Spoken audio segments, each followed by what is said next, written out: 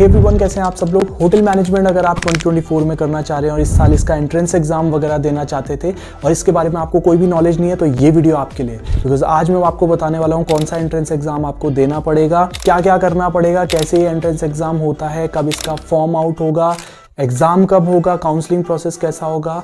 और साथ ही साथ बताऊँगा कि किस तरीके से आप इसकी प्रिपरेशन कर सकते हैं। और एट द एंड ये भी बताऊँगा कि क्या आपको एंट्रेंस एग्ज़ाम देना कंपलसरी है या फिर उसके बिना भी आप कुछ कर सकते हैं उसके बिना भी आपका कुछ काम चल जाएगा। सो so, अगर आप मेरे चैनल को फॉलो करते होंगे तो डेफिनेटली आपको ये अब तक पता चल गया होगा कि होटल मैनेजमेंट का जो एंट्रेंस एग्ज़ाम होता है उसका नाम होता है N C H M JEE यानी कि national council of hotel management joint entrance exam ये एग्ज़ाम नेशनल लेवल का एग्ज़ाम है ऑल इंडिया लेवल पे एग्ज़ाम होता है जिसमें हज़ारों बच्चे पार्टिसिपेट करते हैं कुछ चुनिंदा टॉप आई में एडमिशन लेने के लिए। ये एग्ज़ाम जो होता है, ये एनटीए कंडक्ट करवाता है, यानी national testing agency like any other exam यही आपका ये एग्ज़ाम है कंडक्ट करवाते हैं। इसके बाद आता है कि भाई इसका फॉर्मेट वगैरह क्या होता है तो वो मल्टीपल चॉइस क्वेश्चन के हिसाब से होता है। इसके अलावा इसमें कौन कौन से तरीके की चीज़ें पूछी जाती हैं, वो आपको स्क्रीन पे दिख जाएगा। इसमें आपको, आपका करंट अफेयर्स पूछा जाएगा सर्विस एप्टीट्यूड मैथ्स वगैरह, ये सारी चीज़ें इंग्लिश हो गई, ये सारी चीज़ें आपसे पूछी जाती हैं। इससे रिलेटेड मल्टीपल चॉइस क्वेश्चंस वगैरह पूछे जाते हैं। सो इसकी आपको प्रिपरेशन करनी पड़ेगी। अब बात आती है कि भाई, इसका फॉर्म वगैरह कब आता है? तो फॉर्म जो है एज ऑफ़ नाउ जनवरी हो रहा है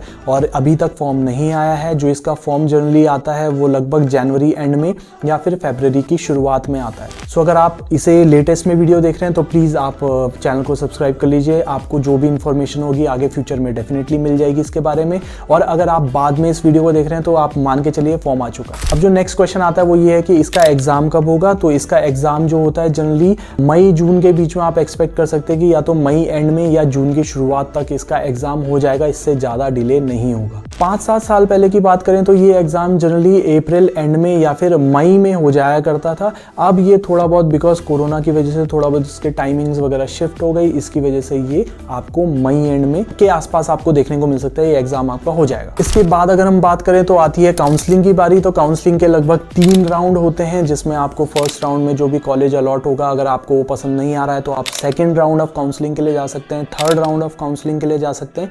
ये सब चीज़ें इसमें होती हैं। इसके बारे में डिटेल में आगे कभी फ्यूचर में बताऊँगा। और ये काउंसलिंग प्रोसेस वगैरह सब कुछ आपका जुलाई में ख़त्म हो जाता है। अगस्त में जनरली जो होता है क्लासेस वगैरह शुरू हो जाती हैं अगस्त मिड से या एंड से। सो ये तो था एग्ज़ाम के बारे में और क्या क्या चीज़ें सारी होती हैं। अब बात आती है कि प्रिपरेशन कैसे करनी है। तो प्रिपरेशन करने के लिए देखो क्योंकि एग्ज़ाम जो होता है वो बहुत ज़्यादा हार्ड नहीं आता है मॉडरेट आता है।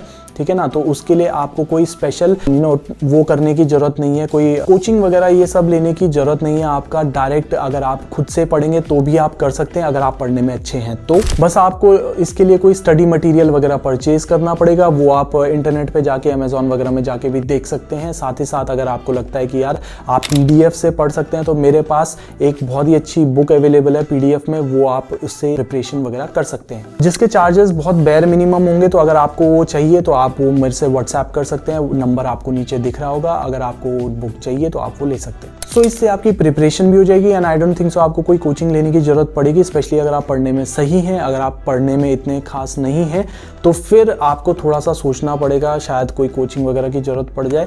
बट उसके अलावा एक और ऑप्शन आपके लिए होता है। इसी से आता है हमारा नेक्स्ट क्वेश्चन कि क्या आपको होटल मैनेजमेंट यू नो अगर करना है तो उसके लिए क्या एंट्रेंस एग्ज़ाम देना कंपलसरी है या नहीं?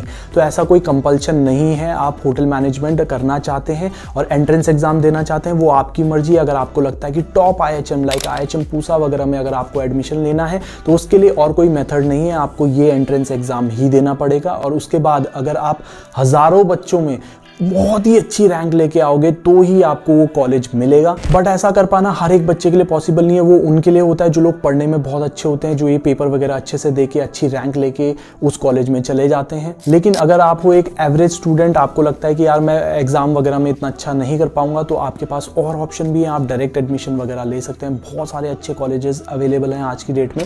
पहले के टाइम पे होता था कि ज़्यादा कॉलेजेस अवेलेबल नहीं होते थे। आज से पंद्रह साल पहले में भी। तो तब ये ही एक ऑप्शन बच जाता था। लेकिन आज की डेट में बहुत कॉम्पिटिशन हो चुका है, बहुत अच्छे अच्छे कॉलेजेस आ चुके हैं, जिसमें आपको अदर प्रायोरिटी बेसिस पे भी एडमिशन मिल सकता है लाइक ट्वेल्थ के बेसिस में एडमिशन मिल सकता है मेरिट बेसिस पे एडमिशन मिल सकता है इंटरव्यू बेसिस पे एडमिशन मिल सकता है। ये बहुत सारे तरीके हैं, अगर आपको लगता है कि आप इन तरीकों से ज़्यादा बेहतर कर सकते हैं और ज़्यादा अच्छा कॉलेज ले सकते हैं तो ये वाले ऑप्शन भी आपके पास अवेलेबल है। बस चूज़ करना पड़ेगा, आपको एक best option and I know उसके लिए बहुत सारे कन्फ्यूज़न आपके दिमाग में रहते हैं कि भाई हमारे लिए कौन सा बेस्ट ऑप्शन रह सकता है कि हमें एग्ज़ाम देना चाहिए, हमें डायरेक्ट एडमिशन लेना चाहिए, क्या करना चाहिए? तो उसके लिए आप मुझे व्हाट्सएप कर सकते हैं, मेरा व्हाट्सएप नंबर आपको नीचे दिख जाएगा। रिप्लाई आने में थोड़ा सा टाइम लग सकता है, उसके लिए थोड़ी सी पेशेंस आपकी तरफ़ से चाहिए होगी और डेफिनेटली आपकी मैं पूरी हेल्प करने की कोशिश करूँगा, जिससे कि आपको मिनिमम एफर्ट से भी बेस्ट पॉसिबल कॉलेज ऑप्शन आपको डेफिनेटली मिल जाएगा। बाकी अगर आपको कोई भी क्वेश्चन या क्वेरी है तो आप मुझे व्हाट्सएप तो कर ही सकते हैं कमेंट भी कर सकते हैं, साथ ही साथ चैनल को सब्सक्राइब कर लीजिए और इंस्टाग्राम पे फॉलो कर लीजिए, बहुत सारी अपडेट आने वाली है आगे फ्यूचर में। Thank you so much. Have a nice day. Bye.